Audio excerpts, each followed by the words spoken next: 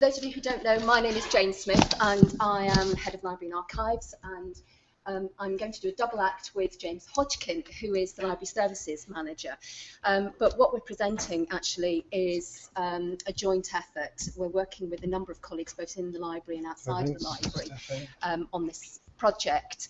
Um, and two of our colleagues um, who've also contributed to the presentation, if it works, great. Um, Sarah Vincent and Michael Loran, so they're sitting there. So if there are any questions at the end, they may be able to help too.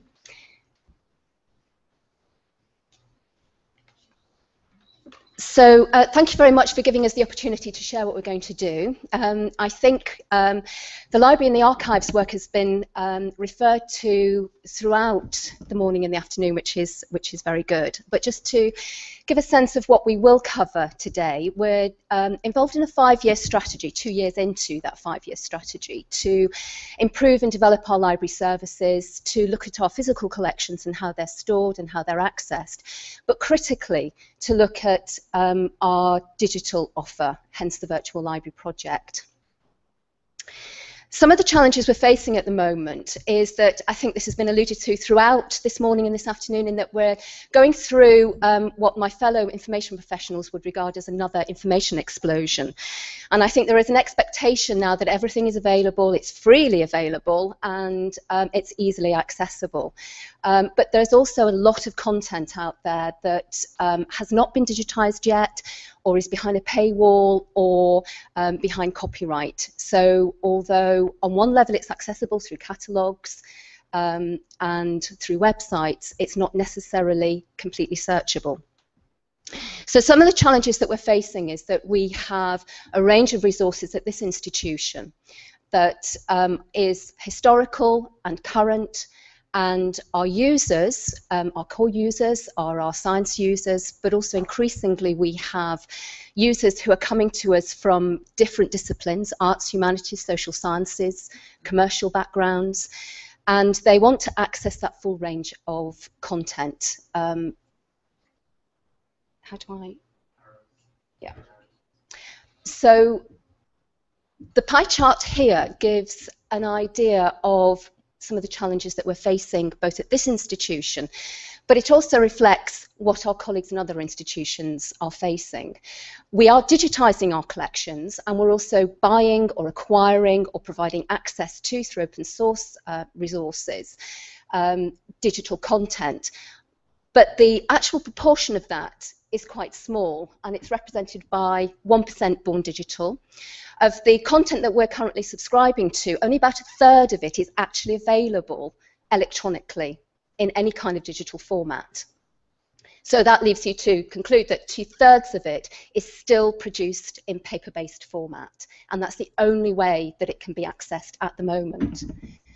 But it also gives a sense of the challenge that both we're facing and our sister organisations are facing in terms of the um, existing physical content that we have, the physical maps, the physical manuscripts, the physical books and journals, and other forms of paper-based or physical material. In that um, over 60% of it is, um, has been published since 1920, so is covered by copyright. So there are restrictions about how we can provide access to that, whether we digitise it or not. The rest of it, some of it is unique material. So although other institutions are digitising other versions of um, Darwin's on the Origin of Species, copies of Nature, um, we have what uh, two-thirds of um, the uh, older material is unique to this institution. The material that we've collected has been collected because of its primarily scientific content, and much of it also complements um, what is held by the other specimen departments and is often used side by side um, with those specimens, often to um, support research but also to answer inquiries. That material also complements what is held in other institutions. And I'll come on to this in a little while, but that's one of the reasons why we are working on our virtual library to enable access to this full range of material, whatever format it's in, so that people know what is available. Um, people now are relying on the Google search, but Google does not pick on, on everything. It doesn't pick up on material that is not available digitally. It'll only pick up on the metadata. And what we're trying to do also through our digitisation programs is not just sort of turn ourselves inside out as a library and archives and expose that full range of material. Um, it's also about connecting it to the collections that are held by other institutions.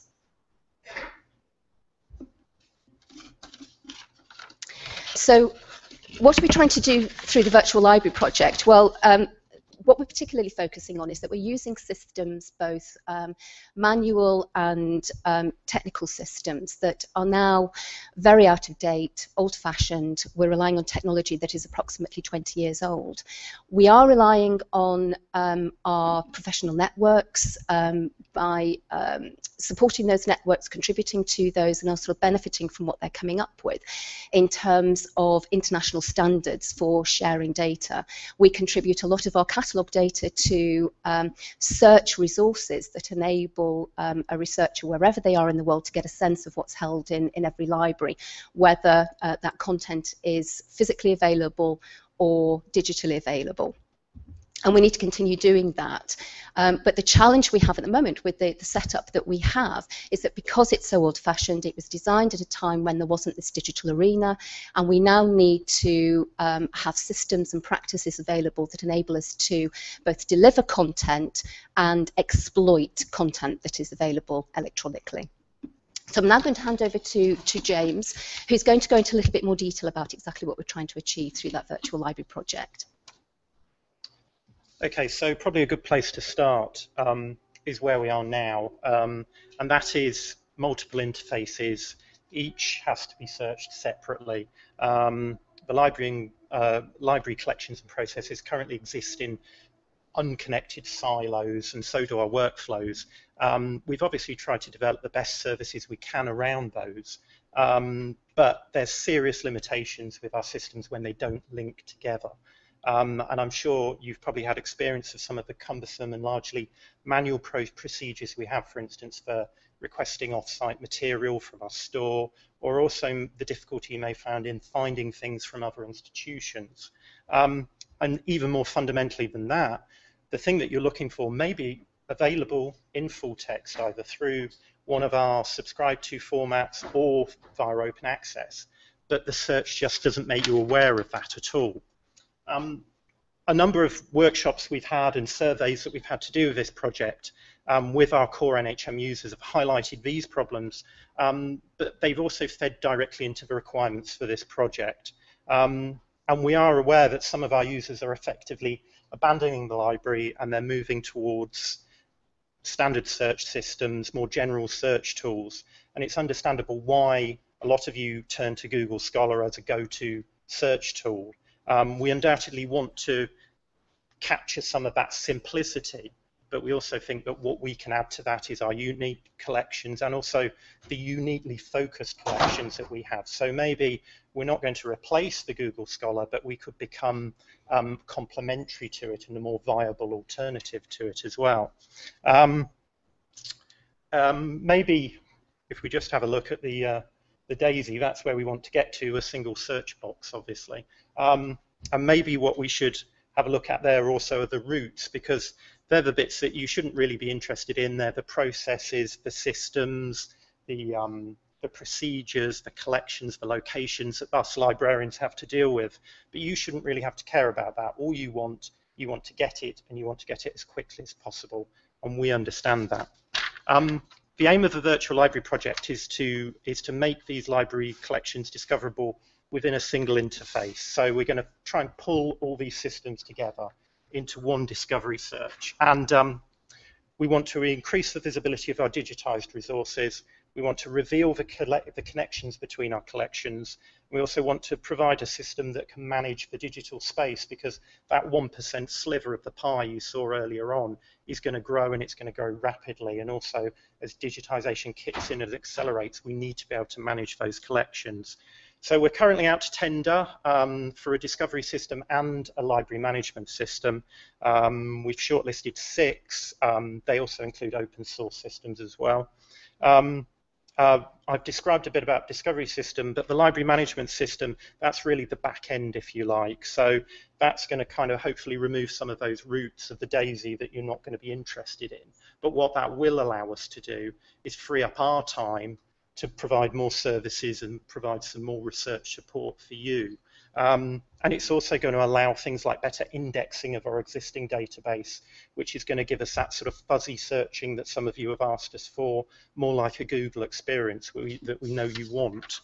Um, the tender review happens in September, um, and colleagues from outside, you will be invited along as well. Have we got any more time? yeah. Um, just to skip through a couple of things then. Um, a couple of things that we wanted to mention is that two examples of the um, resources that we want to connect and currently cannot do so effectively. One is the um, museum's um, repository. Now, this is an article repository. It's kind of live at the moment. It needs a bit more work, but this is one way that we think we can expose um, the research outputs here um, that, um, so the pre-publications or the actual publications that have been produced by, by all of you, and make those available both internally but critically externally. And it's also something that links to open source publication resources like Biomed Central. The other thing that I quickly wanted to mention as well um, was our involvement in the Biodiversity Heritage Library, and this is another key resource that through that discovery platform we're hoping to implement, we will be able to reconnect the content that we're pushing out through that um, uh, I can't say it, BHL. Um, and just a bit of a plug here. Um, already, we've talked about the digital NHM. Well, already the library has approximately um, 3 million images out there. Uh, BHL in total has produced about 41 million digitised pages but that's and, and our, our, contribution at the moment is about three million of those. Um, it's it's a tiny slice of the the global pie. Um, it's about seven percent of the biodiversity literature that we think um, is available to be digitised. Um, but it is linked to EOL pages, it's linked to GBIF, we've got connections with um, Europeana, so it's one way that we have of pushing our content out to be used widely by a wider community.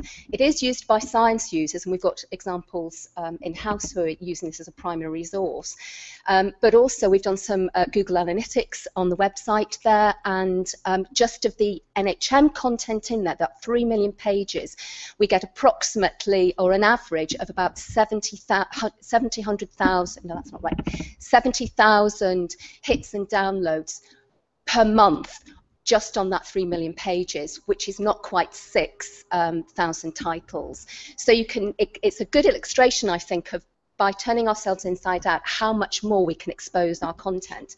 And again, just very quickly to move on, this is an example of uh, one of the scientists who's based at Woods Hole, and some of you may know him, who is actually working on the content in, in BHL. So we're not just pushing out images and hoping that somebody does something with it.